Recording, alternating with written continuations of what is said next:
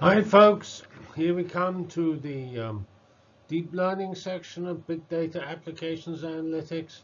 And this is the section mainly on medicine. It starts off with a tiny comment on telecommunications. And here we go. Telecommunications. Well, we don't have much to say about that, as you'll see. So here we have some comments I extracted from business intelligence about AI and telecommunication. And basically it points out that this is a obviously a very successful industry in that it's enabled mobile phones. Um, it has a feature, it has a lot of data. There's not a lot of growth in the core of business, and it's not so obvious the businesses are very well set up to move out of their core businesses these companies like uh, Verizon buy things, but whether they do a good job after they buy them is not so obvious to me. And uh, here we have a little plot of uh, mobile revenue between 2018 and 2025.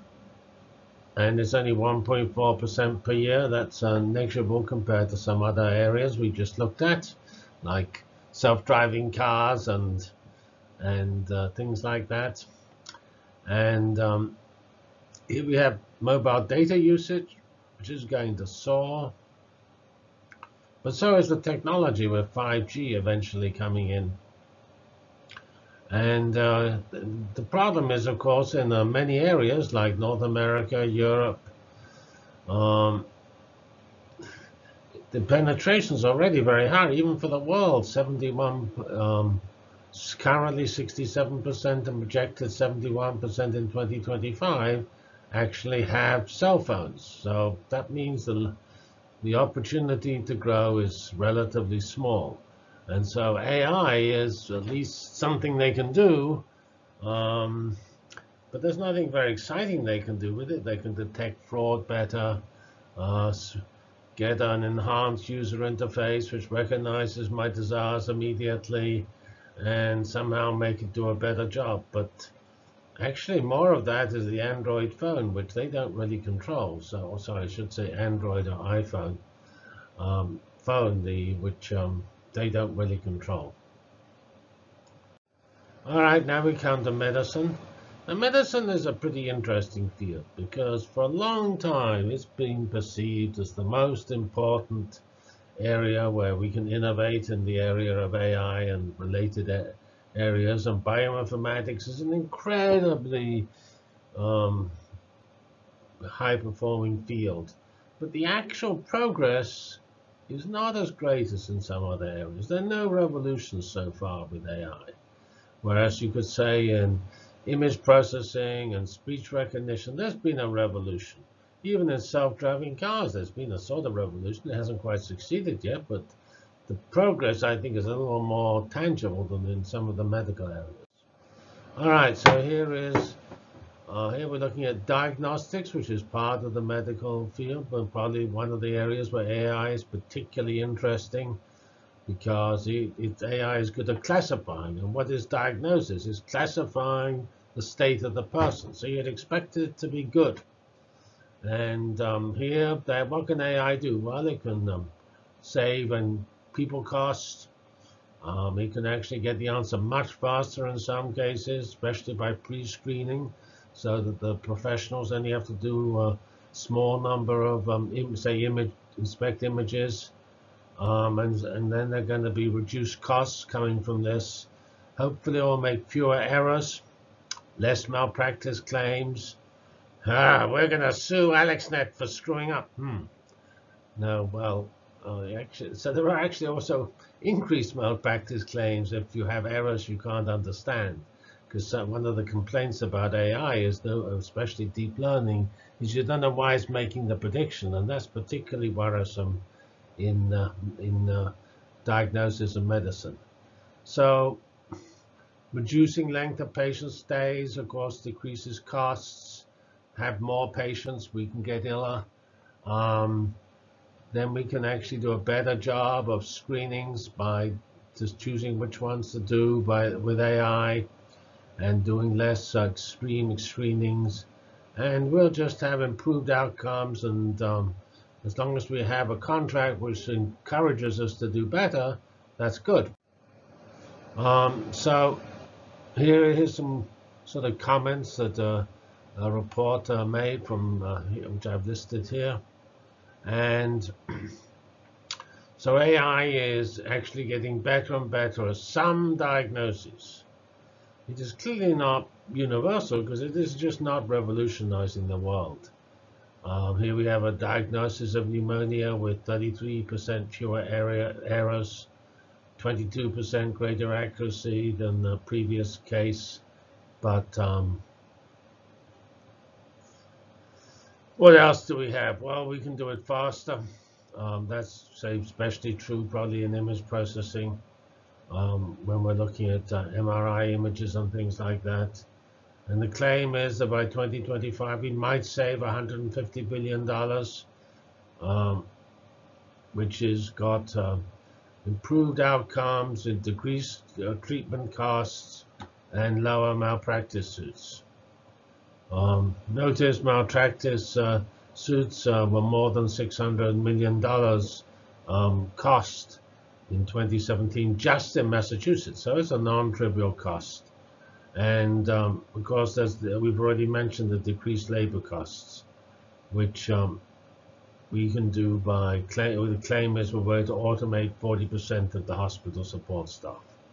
That sounds plausible to me that uh, a lot of the uh, manual, the monitoring and things, that can that's straightforward. Uh, not even really AI, just uh, processing data. Um, all right, so here we have some, these are more interesting diagnostic imaging. Uh, here we have head bleeding um, being analyzed by machine learning. Um, here we have an AI early warning system for sepsis in, in uh, identifying and saving. This is amazing. If true, 5,500 deaths, it would be good to look into more of that good project for a student.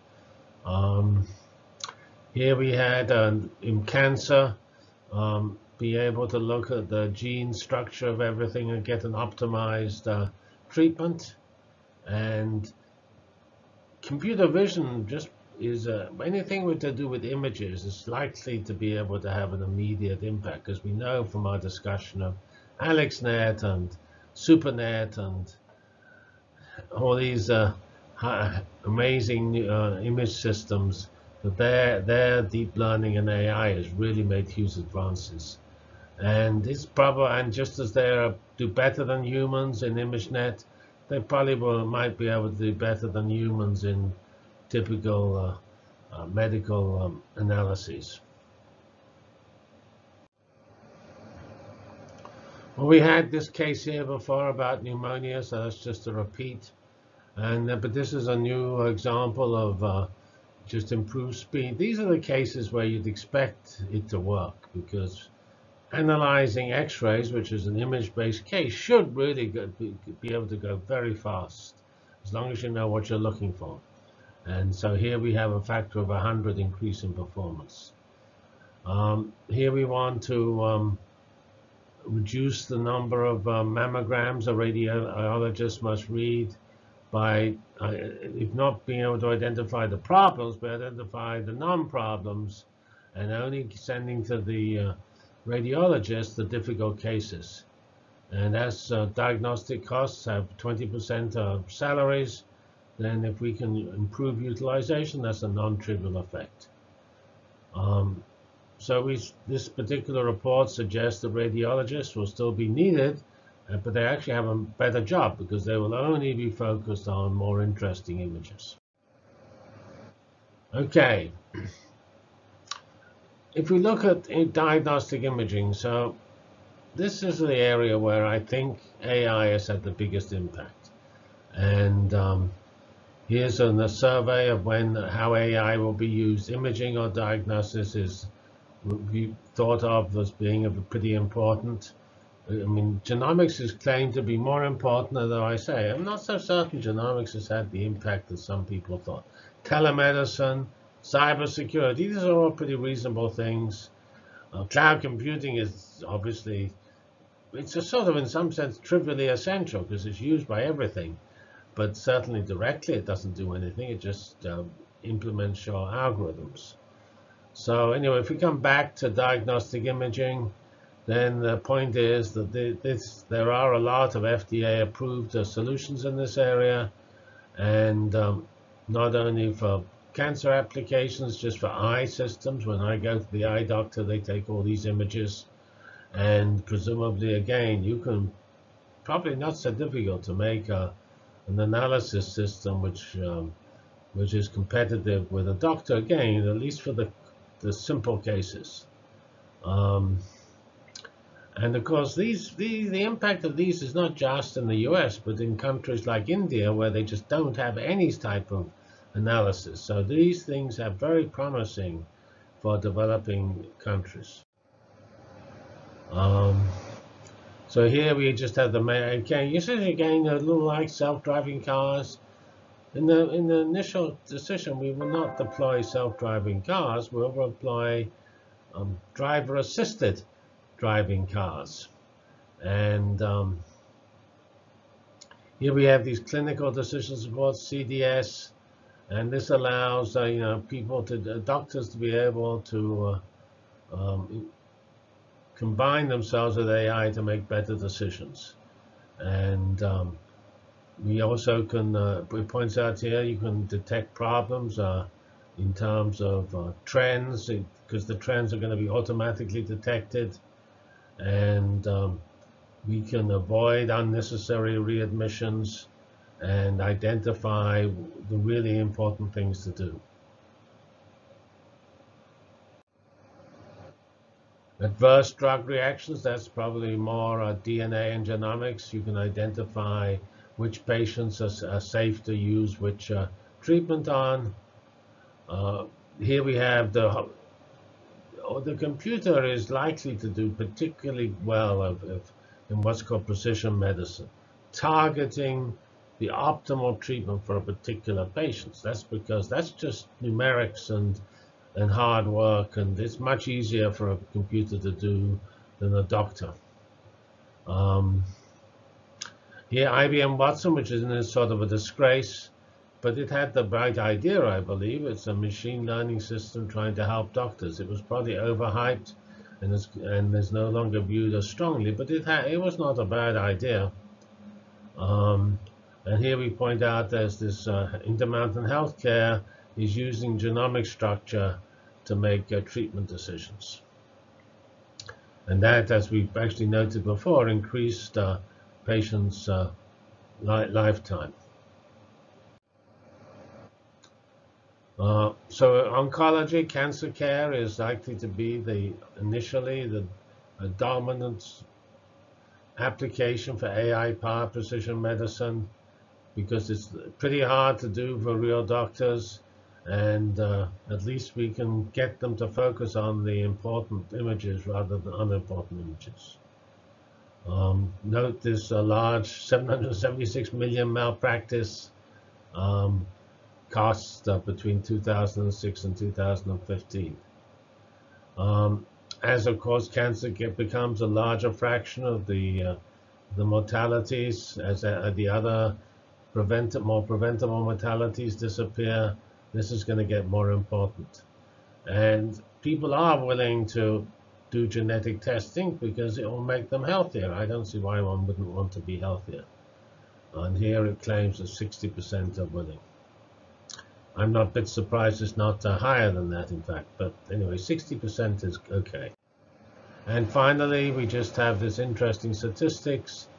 Is um, a couple of pictures over here. Over this picture is the uh, funding going into digital health, and um, these are the various deals. And we have uh, in billions, 8 billion in 2018, but uh, 2019 is coming in at a similar but slightly lower value, and their trend is obviously up, although it may have leveled off, but it's still pretty impressive.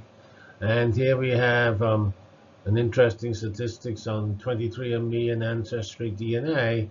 These are the uh, number of millions of people who have been tested. So we now have 25 million um, genomes which have been analyzed. Of course, these companies, I think, only analyze a portion of the genome because we know it costs $1,000 to analyze a, a, single genome these days and, uh, and sequence it. Whereas uh, if you buy a 23andMe kit, it's sort of around $100.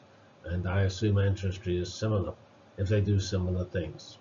All right, so we have a slightly mixed, this is the end of the discussion of medicine.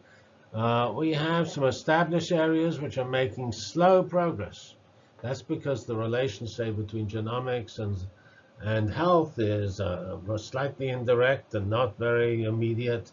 And then um, there are some sure wins, like uh, uh deep learning-based pathology, but even that is not so trivial to actually, I mean, there was a problem already because real doctors didn't find it that easy to translate pictures into diagnosis. And so there may be some real problems that actually these, what we're, the data we're giving these deep, if you give, if you give incomplete data, which is not, uh, doesn't have the information to make a decision, you're not going to succeed. So we're going to do better, but uh, that better may not be what people want because they might think it's going to solve the problem.